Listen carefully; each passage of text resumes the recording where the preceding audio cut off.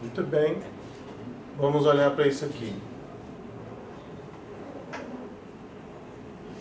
É, então, vamos ver como é que a gente resolve isso aqui. Esse, nesse caso aqui, a integral vai de menos infinito até 2. É, vamos ter uma situação mais ou menos assim. É, o gráfico dessa função aqui, eu posso pensar assim, 2 dividido por x quadrado mais 4, né? Se o x for zero, você vai encontrar 2 quartos, que é 1 um meio. Vamos supor que o meio esteja bem aqui assim. 1 um meio. Essa função é par, ou seja, o lado direito é igualzinho ao lado esquerdo.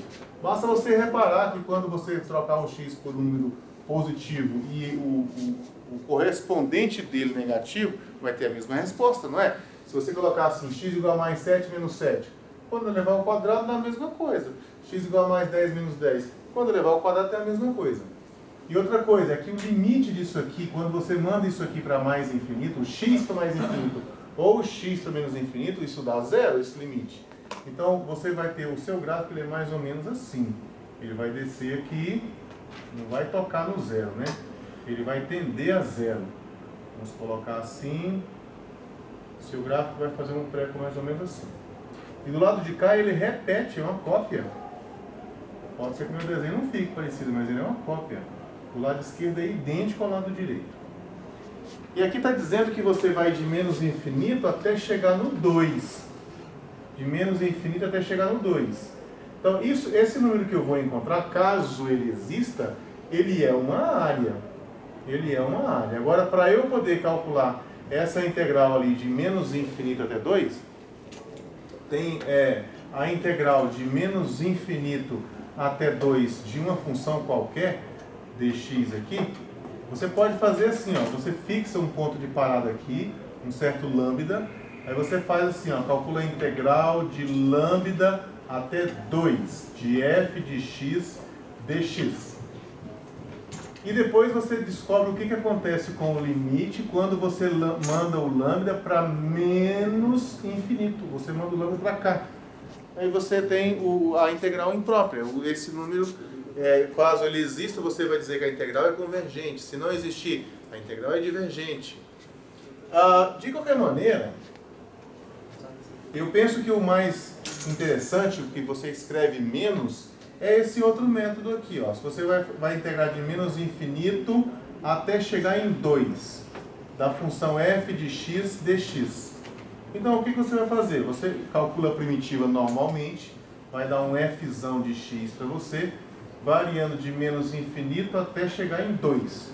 Aí o que você vai fazer? Vai trocar o x pelo 2, normal, ali no fundamental do cálculo, né? vai trocar o x pelo 2, vai ficar f de 2, menos, quando você for para o menos infinito, não troque o x para menos infinito, porque senão vai aparecer aquelas contas, é, infinito vezes cosseno de 1 dividido por infinito, mais ln do, do infinito. Não, você tem que analisar é o, o que é, qual que é a tendência, e a tendência é o limite.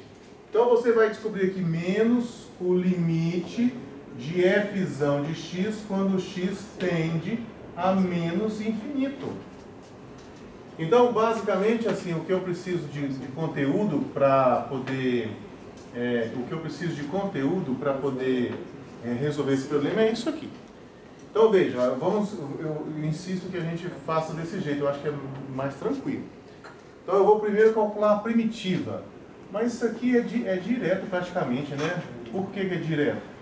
Porque isso aqui é a mesma coisa que 1 dividido por x quadrado mais 2 ao quadrado. Então você tem assim, menos infinito até 2, 1 dividido por x quadrado mais 2 ao quadrado dx.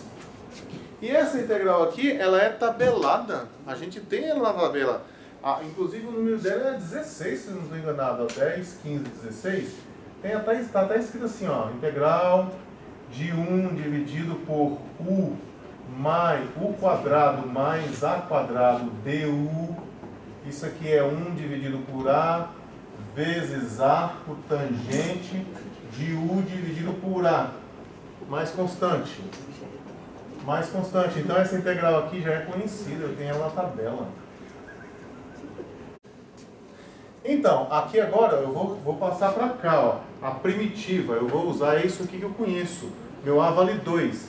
Então vai ficar assim, ó, 2 vezes Olha aqui, é 1 sobre A, então será 1 sobre 2. Ó. 1 sobre 2 vezes arco tangente de x sobre 2, variando de menos infinito até chegar em 2. Aí o que, que você vai fazer agora? No 2 você pode trocar o x normalmente por 2, né? Depois vai ficar assim, ó. então esse aqui cancela com esse. Vamos ficar assim, ó, com é, arco tangente 2 dividido por 2. Ó, 2 dividido por 2 menos, vamos colocar esse menos aqui embaixo, ó, menos, esse menos aqui do teorema fundamental do cálculo, hein? É o de cima menos o de baixo. Aí esse de baixo aqui é um limite. Você vai calcular o limite dessa função aqui, que é a primitiva, né? Limite do arco tangente de x sobre 2, quando x tende a menos infinito. E qual é o... Veja. 2 dividido por 2 dá 1, né? Então você tem que calcular arco que tem tangente 1. Então, olha só, calculando aqui, 2 por 2 dá 1. Então vai ficar assim, arco cuja tangente é 1, menos o limite do arco tangente de x sobre 2, quando x tende a menos infinito. Qual é o arco que tem tangente 1? Tangente de quem que dá 1? Lembra que isso aqui tem sempre que estar em radianos. Eu vejo muito vocês colocar essas coisas aqui em graus. Graus é só para você, por exemplo, assim, ah, qual tangente de quantos graus que dá 1? Tangente de 30 dá 1? Não. Tangente de 45 dá 1? Dá. Então o, o, o ângulo em graus é 45, mas aqui é uma função definida em cima de números reais. Aqui tem que ser radianos. Arco que tem tangente 1. Tá, o, o, arco em graus é 45 graus, mas em radianos, qual é o, o 45 graus em radianos dá o quê? Π sobre 4, menos. Agora, o que, que dá o arco tangente de x sobre 2 quando você manda o x para menos infinito? x está indo para o lado esquerdo. Vamos relembrar aqui o gráfico da função arco tangente. Toda hora a gente se depara com ele, né? Arco tangente. O arco tangente, o gráfico dele é assim, ó, ele vai passar para lá, vai subir aqui, vai se aproximar de π sobre 2, na medida que você vai aumentar, na medida que você vai aumentando a, a, o argumento ali, ele vai subindo, subindo, subindo, ficando cada vez mais perto de π sobre 2. Se você anda para o lado esquerdo aqui, se você anda para o lado esquerdo, ele vai ficar cada vez mais perto aqui do menos π sobre 2 cada vez mais perto, menos π sobre 2. Então, nesse caso aqui, o que, que dá o limite de arco tangente de x sobre 2? Quando você manda o x para menos infinito. Quanto que dá isso? Menos π sobre 2. Então, acho que vai ficar assim, menos, menos π sobre 2. Então, no final das contas, ficou assim, ó.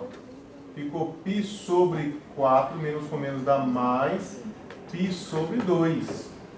Aqui os denominadores estão diferentes. Para que eu, os denominadores fiquem iguais, basta eu multiplicar aqui embaixo por 2, né? Ó, se eu multiplicar embaixo por 2, vai ficar 4 igual a esse outro aqui. Mas aí eu tenho que multiplicar em cima por 2 também.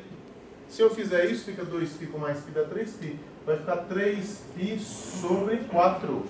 Inclusive, 3π sobre 4, isso é uma área é, se você perguntar se eu consigo pintar essa região aqui, consegue. Inclusive, você vai gastar a mesma quantidade de tinta que você é, gasta para pintar um quadradinho que tem essa área aqui. A área é finita. Isso que a gente acabou de encontrar. Viu? Então tá, é isso.